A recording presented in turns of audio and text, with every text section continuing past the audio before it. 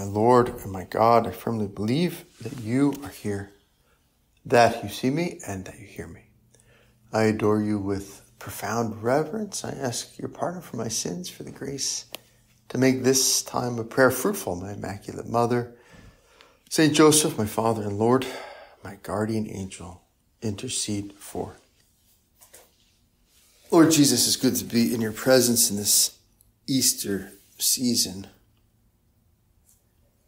And our Father, St. Josemaria, encouraged us, and many saints also, to use our imagination to put ourselves into the shoes and the minds and the hearts of the people who were there.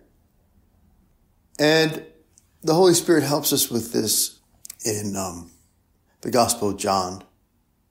After this, Jesus revealed himself again to his disciples by the Sea of Tiberias.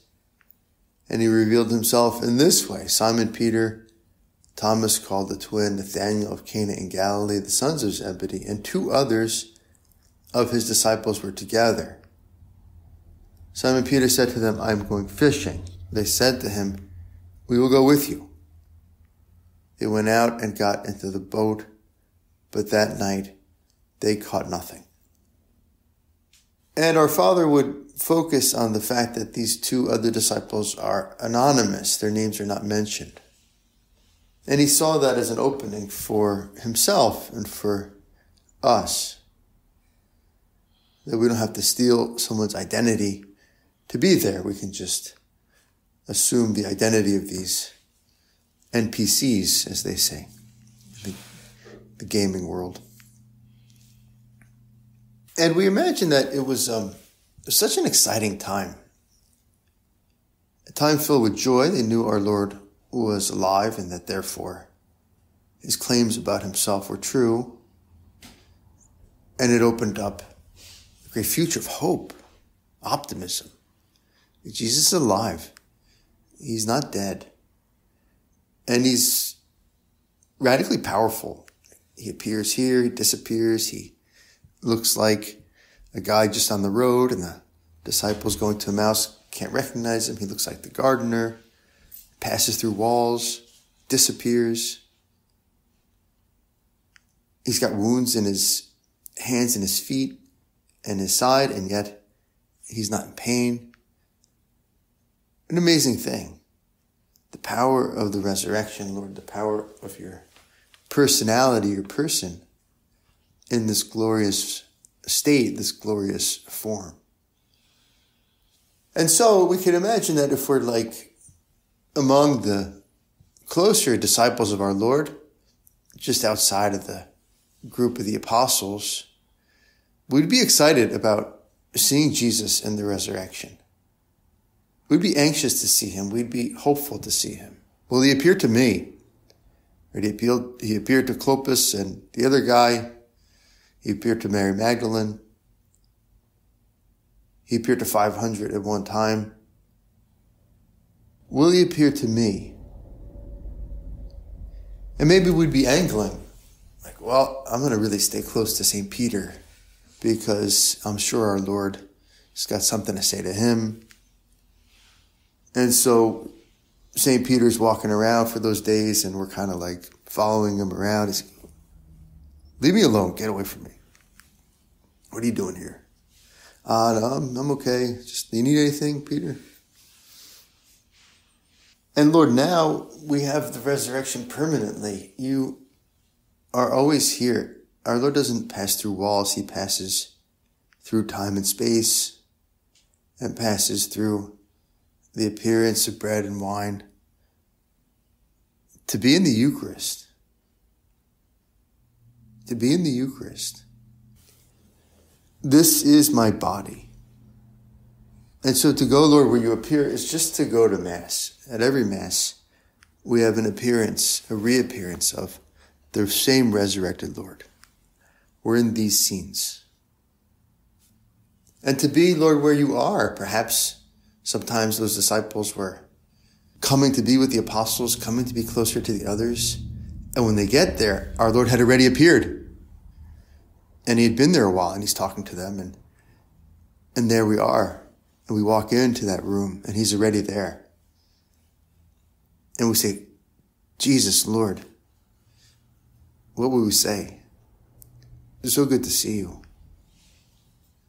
And that's the tabernacle. When we come into the into your presence, Lord, when that vigil lamp is on, we're walking into a scene where you're already there in the resurrection. Then we say, Jesus, Lord, it's so good to see you. Thank you for being here with us. This is my body. There's only one body of Christ. The body that ascended into heaven is the mystical body of the church. The body that rose from the tomb is the body hidden under the appearances of bread in the tabernacle. And that body, once resurrected, is always resurrected. We are witnesses of the resurrection, Lord, with our faith, with our faith, when we gaze upon the tabernacle, we know that you're in there in that ciborium, when we gaze upon you lifted up in the consecration or lifted up benediction or in the monstrance. We're witnesses of the resurrection. Some writers put it this way they say there's no bread left. And the words of consecration are said, there's no bread left. There's not any bread anymore. It's just the appearances of bread. The whole thing is Christ, which some people need to be reminded of. I was at a Christmas Eve Mass this year helping a friend big parish. And I had the quote unquote overflow mass in the parish hall. And there were still like hundreds of people there, three or four hundred people packed. And we got to the preparation of the gifts and they had, they had three ciboria there. And only two of them had hosts in it. And it was clear that this is, this is a, a shortage. I'm in trouble unless something happens. So I turned to one of the B team servers because he gave me the B team on every, it was more like the C team on everything. They were overwhelmed by the situation. They kept saying, Father, I've never served Christmas Mass before. Like, it's the same Mass. Do your job. I said, Are there any more hosts?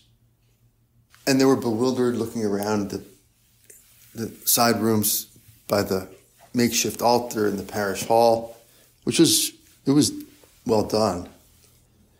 And they couldn't find any. And so I said, okay, run over to the church and get some hosts. Make haste. And I think they would have made it were it not for this kindly old lady who was also helping. And she said, Oh, Father, I'll, I'll take them over. And I didn't have the wherewithal to say, No, you stay here. You run. Because this lady was not moving fast. And so I'm trying to go slow, but they're not coming back. And then I'm in the consecration and I notice that they're walking up the makeshift aisle of the church with a box, unwrapped box, hosts. And I'm like, I don't think I can consecrate those from here. I don't think that would be right because they're not on the altar. And I can't just like, maybe I could. I, it's a sacramental question for sacramental theology, like shift my attention and consecrate the host in the box. But I, I, you know, quickly decide I'm not going to do that. That would be terrible. And so we're giving out communion, and of course we run we run out. At which point, at two points in the process, one of these helpers said, "Father, why don't you use the ones we brought?" Said, "They're not consecrated." But Father, why don't you? We have some more over here. We just brought them. We can't use those right? They're just bread. And if they were on the altar, right, they wouldn't be bread. There's no bread left. It's just the body of Christ. And the body, Lord, has your blood in it, and the body is alive because it's a resurrected body. And the body is enlivened by your soul. And your soul and your body, your humanity, has been assumed by the divinity. And so we say in that phrase that summarizes the, the doctrine of the church from the Council of Trent that in the Blessed Sacrament, the body, blood, soul, and divinity of our Lord Jesus Christ. Easy access. Lord, we don't have to hope that you'll come. We don't have to tag along with other people who are more important than we are. We don't have to even pray for it in a certain sense. We just show up and we know that you're going to appear at the consecration and that you're going to remain in the host. Just as day was breaking, Jesus stood on the beach. Yet the disciples did not know that it was Jesus. Jesus said to them, Children, have you any fish? They answered him, No. He said to them, Cast the net on the right side of the boat, and you will find some. Lord, we know that you speak to us from the tabernacle but it takes faith and perseverance and dedication to hear you. And if we could hear you speak, Lord, in this fully human form, now the appearances of your humanity are also hidden. But if we had the appearance of your humanity, Lord, and you could talk to us with your human voice, what would you ask us? What would you say to us? He tells them do this. First, he asks them, have you any, have you any fish? How's it going? How you doing? And what you're doing right now? Bad. No fish. And then he says, well, do this. Cast the net on the right side of the boat and you will find some. Well, Lord, if you ask me that about my prayer, How's it going? Or my work. This is their work. How's it going at work? How you doing? Or my friendships, my family life. Do you have any fish? Lent is over. Do you have any steak?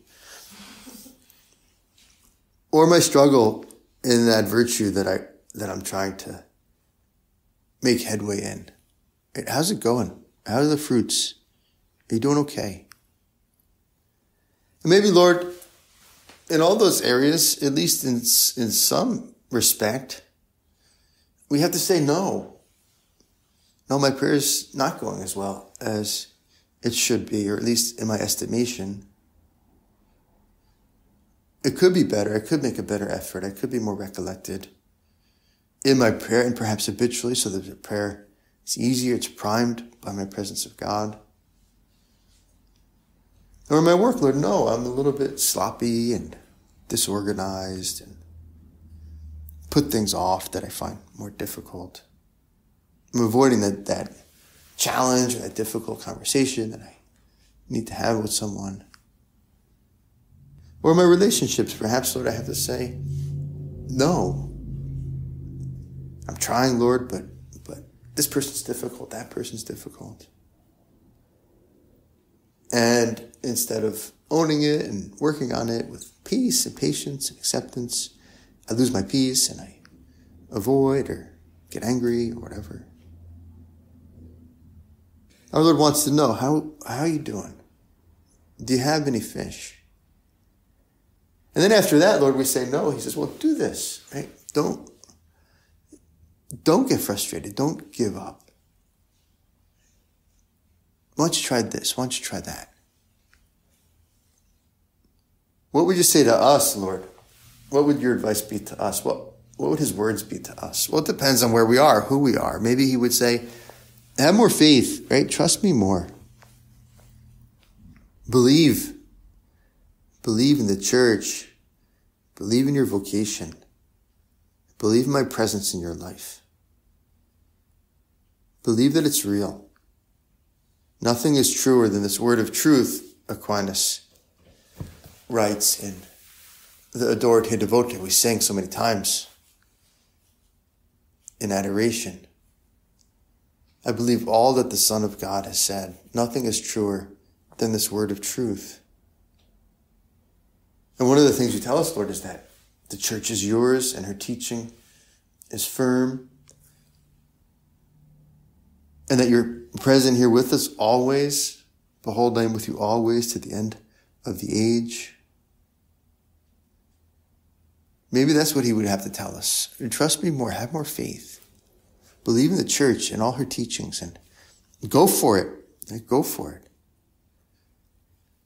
It was so beautiful at the Easter Vigil. I don't have the words memorized, but if you're coming into the church and you haven't been baptized in the church, so if you're baptized, you just get baptized and then receive confirmation and communion. But if you've been a Christian before and you're coming into the church, you have to publicly profess your faith in the church and her teachings.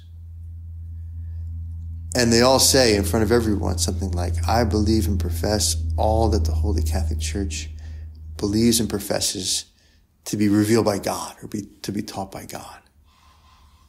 It's a powerful statement, uh, and it's helpful for us. Lord, I believe and profess all that the Holy Catholic Church believes and professes to be revealed by God or taught by God. And that covers such a wide range of things, right? Everything from the Immaculate Conception to the primacy of St. Peter and the role of the Pope in the church to teachings on marriage to the sacraments. It's a lot to believe. And why do we believe it, Lord? Well, because nothing is truer than this word of truth, because you told us that you want us to believe it all. Maybe, Lord, you would look at me and say, charity, right? Charity, charity. And remind me of what our Father wrote that, that understanding is the greater part of charity. More than giving. Maybe, Lord, there's some people in my life I'm just like, how do I, I don't know. I'm, I'm thinking about putting some holy water in their milk to see what happens, right? Because I'm, I got a suspicion that maybe they're possessed or something like this. My brothers went to Catholic school. I didn't. In grade school, they were younger than me by 16 months. They're twins. And they tell a story of coming in from recess into the classroom and they were in sixth or seventh grade or something like this. And the nun, we still had nuns back then in the schools. the older nun was hiding behind the door. And as they came in, she started sprinkling holy water on them with aspirations in Latin. And the, the devious boys reacted by pretending to shrivel up and saying, It burns, sister, stop, it burns. Poor nun. Well, Lord, charity, right? The balm of charity. Patient, kind, bears all things, believes all things, hopes all things. Maybe, Lord, when you talk to me, you'd have to tell me a parable. It's like, oh, you're here? Okay, Whew, this is going to take a story. Um, yeah, two guys were in the temple. One was a tax collector, the other was a Pharisee. and he thought he was better than the other guy. And, um, and the other guy was closer to God, even though he was externally worse maybe, Lord, I need to hear that story because I'm hypocritical and I look down on others and I puff myself up. And I mistake your gifts for my own merit. What would our Lord tell us? What is our Lord telling us? Children, have you any fish? They answered him, No. He said to them, Cast the net on the right side of the boat, and you will find some. So they cast it, and now they were not able to haul it in for the quantity of fish. That disciple whom Jesus loved said to Peter, It is the Lord. When Simon Peter heard that it was the Lord, he put on his clothes, for he was stripped for work, and sprang into the sea. But the other disciples came in the boat, dragging the net full of fish, for they were not far from the land, but about a hundred yards off. Beautiful details of the gospel. How John, Lord, wouldn't use his name, but claimed the title for himself of the beloved disciple, that disciple whom Jesus loved. With the sensitivity, Lord, of his young and pure heart, he was more receptive to your friendship, more open to your charity, more dependent on you because he had given up more from a young age. He didn't have a wife. More dependent, Lord, on your friendship for everything. And you reciprocated to that need with a special affection for him. That disciple whom Jesus loved and love sees, it is the Lord. He's the first one to see it. I mean, the other ones probably could have figured it out. Okay, it's a miraculous catch. Jesus told us to meet us here in Galilee. It's probably him. But John sees it first, proclaims it. It is the Lord. Love is not blind. Love gazes. Love sees. The saints teach us, I don't think it's church teaching anywhere, but you know, it makes a lot of sense that if we were the only one that had to be redeemed, our Lord would have suffered everything just for one soul. It's just for us. That he doesn't redeem humanity en masse, or it's not a calculation. Okay, there's going to be 1.5 trillion people from now until the end of time. So I guess, yeah, okay, I guess I'll do it. No, it's like, I've called you my friends. I have called you my friends. Greater love has no man than this, than that a man lay down his life for his friend. And so each of those disciples, I mean, John's gospel probably wasn't distributed or written even until after all the other apostles were dead. But had it been, I think some of them would have been like, hey, wait a second, John. I'm the beloved disciple. You're not the beloved disciple. What are you talking about? that they all had this sense that they were special to our Lord. God only knows how to have only children. I read somewhere. Which makes sense, Lord, because you are the only begotten Son of God. You are the only begotten Son of God. And so when God loves me, He loves you and me, and you are His only child. I heard a story of a priest who remembers growing up that every night before he went to bed, his mother told him, You know, you're my favorite. I love you very much. You're my favorite. And he grew up and his mother was older and he was thinking about that. And so he figured she must have told that to, she must have told that to everyone. And so he polled his brothers and sisters in conversations and said, you know, mom used to say this to me that I was her favorite before I went to bed. Did he, did she say that to you? And they're like, no. And so he went to his mother and said, Mom, I remember growing up before I went to bed, when you were talking to me and used to tell me, you're my favorite. I, I love you very much. She's like, Yeah. She's like, why did you say that to me and not to the others? And she said, well, because you were the ugliest.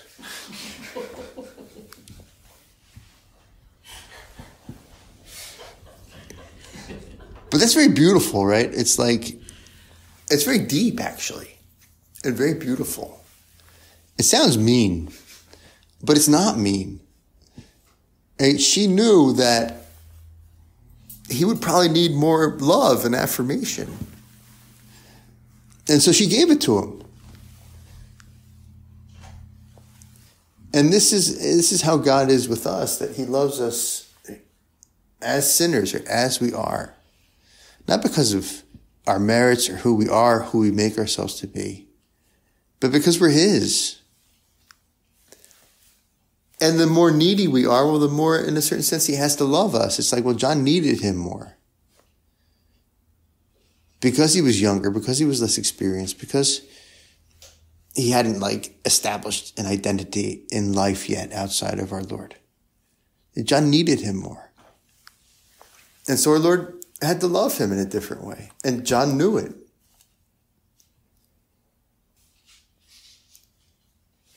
And Lord, we're the, you know, we're your ugly children. We need you more. When they got out on land, they saw a charcoal fire there with fish lying on it and bread. Jesus said to them, Bring some of the fish that you have just caught. So Simon Peter went aboard and hauled the net ashore full of large fish, 153 of them. And although there were so many, the net was not torn. Jesus said to them, Come and have breakfast. Now none of the disciples dared ask him, Who are you? They knew it was the Lord. Jesus came and took the bread and gave it to them, and so with the fish.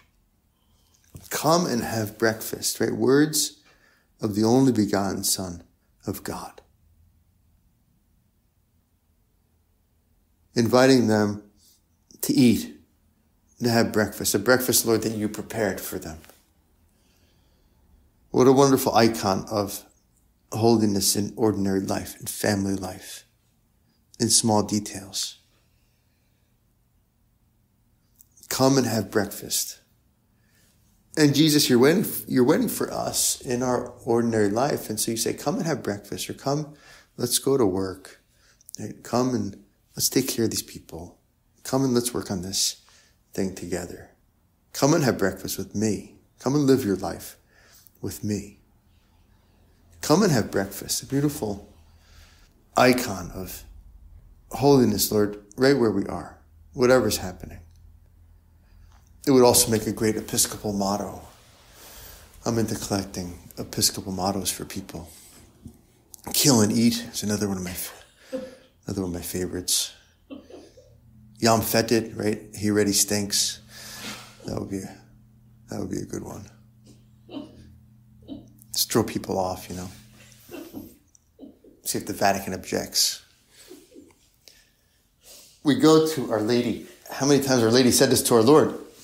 Come and have breakfast, right? Or come and have lunch, come and have dinner. Right? Inviting him into the family life that they had together. And so we can stay close to her, right? To be with our Lord. Perhaps many disciples were bumming around the apostles those days as we considered before. Well, the shortcut is Our Lady, right? Wherever she is, He is. And so, whatever we're doing, let's stay very close to our Mother, the Queen of Heaven. I thank you, my God, for the good resolutions, affections, and inspirations which you have communicated to me in this meditation. I ask your help to put them into effect. My Immaculate Mother, Saint Joseph, my Father and Lord, my guardian angel, intercede for me.